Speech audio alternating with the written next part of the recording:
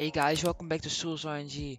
In this video I'm going to leave the moment I get bored, okay? The moment this game gets boring, I leave, okay? Thanks for watching.